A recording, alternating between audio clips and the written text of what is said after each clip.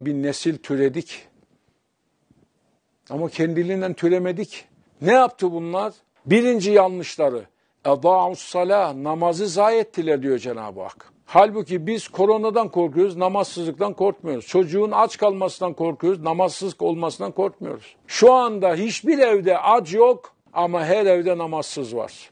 Ve problem de yok. Hiç problem yok. Çocuk yemeğe, sofraya gelmese hemen koşuyorsun, doktora yetiştiriyorsun. Ama seccadeye gelmiyor, problem yok. Zavallı çocuk.